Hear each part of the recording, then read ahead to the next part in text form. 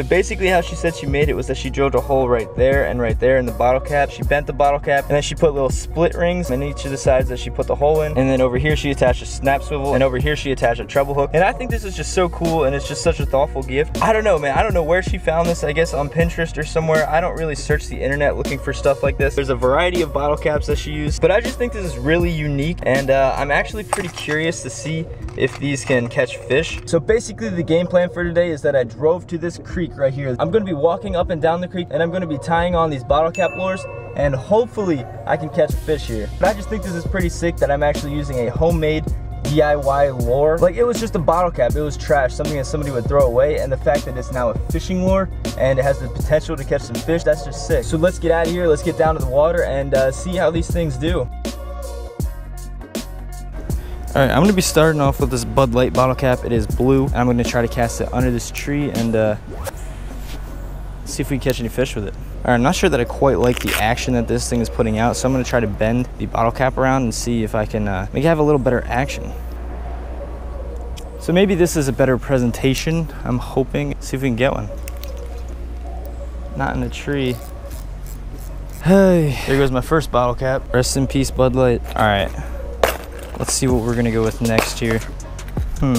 All right, let's see how good this Corona cap does. I have faith in the Corona more than I did the Bud Light. I see smallmouth jumping everywhere. Oh no, snag.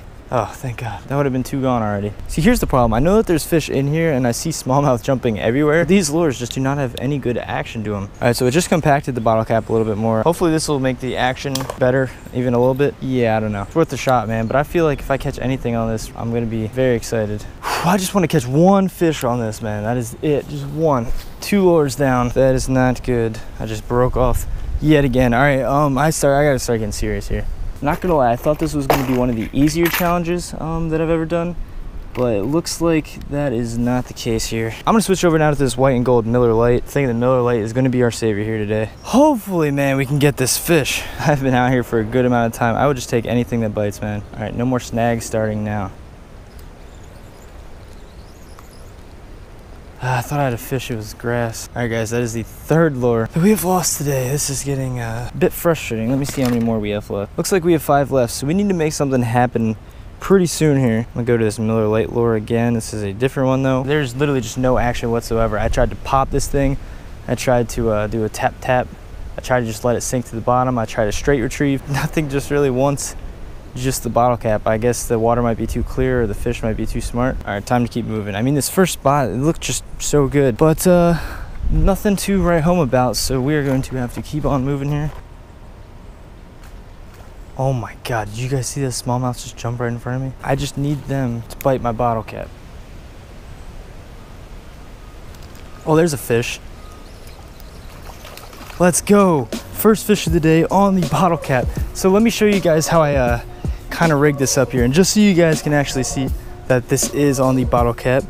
There you guys go. It is the Miller Lite one. So let me get this guy off right quick. Okay, so I am literally beyond happy. I've been out here for so long trying to catch a fish so many different ways on this bottle cap lure. And uh, let me show you guys how I caught this guy. This is a red breast sunfish. It is actually a pretty decent fish. This guy actually crushed it too. And that was one of the first casts with this method. So I'm gonna throw this guy back right quick. But thank you for biting. Seriously, now I can finally stop using the bottle cap lure. I do not know after this day if I am ever going to use a bottle cap lure again. Like honestly, the bottle cap lure is just not the wave. But let me show you guys how I actually got hooked up on this. I have a tiny bobber going down to the bottle cap lure, which I crushed all the way. And then uh, this is just kind of acting as my weight now. And I took out a little gold minnow. Bro, you do not know how long I've been out here trying to catch a fish. And I rigged it just like this through one of the treble hooks so that in the water, it would uh, just sit like this and I could jig it like that. Yeah, yeah, you can call me a cheater or whatever. But man, these lures, are just not the wave. I mean, the action is not really all that. All right, so technically I completed the bottle cap lure challenge. I mean, this was honestly, it was either a hit or miss. So I even tried the bobber method again with the Gulp Alive minnow and it was just not, nothing was happening. So now I'm actually gonna switch to some baits that I have some confidence in. So overall, the bottle cap lures are just really awesome. I'm not sure if they're the best things to use for fishing. I, know, I don't think they're really meant for fishing. I think they're just there to be cool. And uh, I'm so happy that I caught a fish on one though. And I'm also very happy that I have some left over. I definitely would suggest you guys to go out there and try a bottle cap lure yourself. Um, try to make it yourself, try to fish it yourself. Definitely easier said than done. But now I switched over to a uh, spinner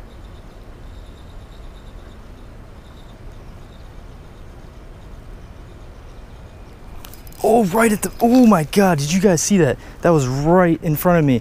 This guy came up and nailed it. Dude, first cast with the spinner. Dude, that was so cool. I really hope that got on camera. Dude, this guy crushed it near the surface. Yet again, it is another redbreast sunfish. These guys are just awesome fighters. There's definitely a good population in this waterway. Hopefully we can get off of those start getting on some bass. So as I said before, my girlfriend made those bottle cap lures. So let me know in the comments if you guys would like to see me try to make a lure. It's not gonna be a bottle cap lure. Oh, there's a fish. Oh my gosh, this feels nice. What is this? This is another redbreast? Oh, that's a nice smallmouth, dude. Holy crap. Let's go. There we go. That is our second. Oh gosh. These things are so feisty once you get them out of the water. All right, there we go, guys. This is our second species of the day. It is a nice little smallmouth bass. I know I said it feels like a nice fish and oh, it's such a big fish and you guys always get on me for that. But these things, dude, I'm telling you, creek smallmouth and I guess just smallmouth in general, these things fight so hard, especially on my light rod. All right, guys, well, there he is. You can see he has some little teeth on him too. That is our second species of the day. It's a decent smallmouth. I'm gonna let this guy go right quick. Thank you for biting, my good sir. There he goes. All right, so I just switched it up. Next, I'm gonna be using this little Ned rig and uh, hopefully we can get some more bass. I'm trying to attempt to get some bigger bass here. I'm trying to get rid of uh, all these sunfish bites I've been getting. My one concern with using this rig here is that I might get snagged a lot. Oh my God, I had a fish on. I had a fish on, he spit it. What was that? Yeah, that, that was definitely a small little smallmouth. Oh, there's a fish. Dang, he spit it too. What is going on here? At least we know the Ned rig is getting bites. I think I just need to set the hook harder. Next bite, I'm gonna set the hook way harder.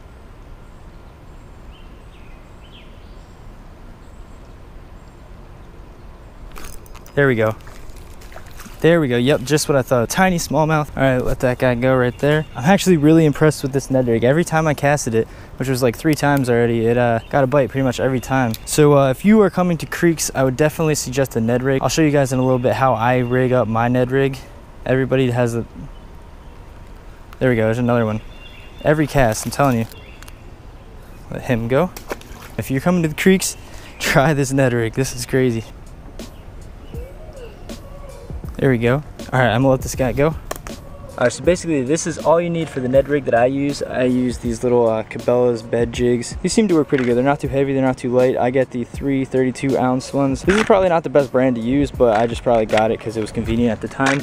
And then also on the Ned rig, I put these Z-Man uh, Finesse TRD Canada crawls. So I get these because I like the color. And these are also made with Z-Man ElaZtech. So if you don't know what ElaZtech is, it's this very stretchy material that floats. As you can see, if I bring it down here and I put it in the water, it just kind of floats up. That is exactly what you want. Because how you fish a Ned rig is that the jig head is on the bottom, keeping this down to the ground, and you could hop it like this. And as you hop the bait, this floats and it creates a uh, action that the fish just go crazy for. So I would definitely suggest if you're fishing for bass anywhere, especially smallmouth bass though in a creek like this, definitely try the Ned rig out. So here's the action I was talking about. This hits the bottom and you just kind of bounce it. And this action is what drives the fish crazy. So let's see if we can pull some big ones out of this creek here. There's a fish. Coming right up, it's a small one. It's definitely another nice little smallmouth. Oh gosh. All right, there he goes. It's really so much fun fishing with this Ned rig. Even if these fish aren't very big that I'm getting at the moment, I still have a feeling that there's some decent sizers in here. There we go. Oh my gosh. Dude, no way. That is a nice crappie. What the heck? On the Ned rig? By fishing this Ned rig, I never thought that I was going to catch one of these guys today. All right, this is awesome. I'm gonna let this guy go right quick. You all right, bro? All right, there he goes. There's a fish.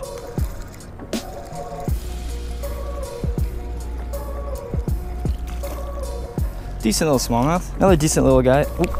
There he goes. All right, well now I can officially say that today was a big success. I mean, we caught three species, we caught a lot of fish, and we caught a fish on the little bottle lure. I mean, might not have been the conventional way to do it, but we still caught a fish, so it counts in my book. So now I quickly have to get back to my car. It is like really thundering now. Hopefully I can make it back in time before all my gear gets wet, man. It's like I'm racing time here. So as you guys can see, I got home just in time, and I picked up some Chick-fil-A. So overall today is just a great day. All right, so we have some important things to talk about. So the other day, we just hit 10,000 subscribers. This is just crazy to me. I was sitting there alone in my room. It was like 3.30 a.m. I was on Social Blade just staring at the subscriber count. It was just going up by one, up by one, up by one. And before I knew it, it just it just happened. And, and to be honest it was just a really weird feeling. It's not about how many subscribers you get. It's not about the money you get on youtube. It's just crazy that so many people click on my videos and enjoy them and want to support me in something that i love to do. That is just that is just the craziest part about it. As you guys know fishing is my passion. Now i might not be the best fisherman in the world but i still go out and i enjoy doing it. That is why i make these videos and i try to make these videos as entertaining as possible so that you guys can enjoy the experience that I'm enjoying. So I just have to thank each and every one of you. It's just, it's really something crazy and I just never thought I would ever be supported by this amount of people. This is, this, this is crazy. Now, since I hit 10,000 subscribers, I am going to start upload more frequently. I'm not going to say a number, but I'm just going to put out as many as I can. You guys know how it goes. Sometimes you go and you don't catch anything, and sometimes you do a challenge video and there's not much footage of fish being caught. So sometimes it can be hard to keep these episodes good and entertaining, but I'm going to do my best to upload as often as possible and to get out there fishing. I'm definitely going to keep at it with the challenge videos. You guys seem to really like those.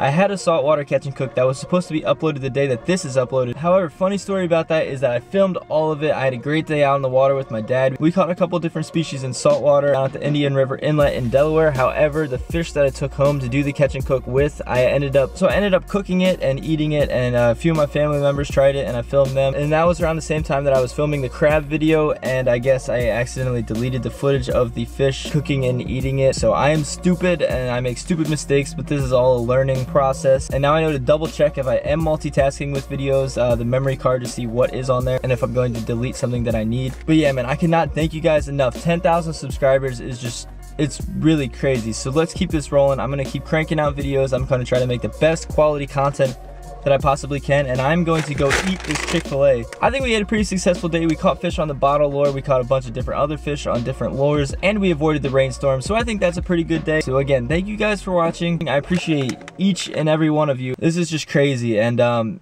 yeah, man, thank you guys for watching. I'll see you guys next video. Peace.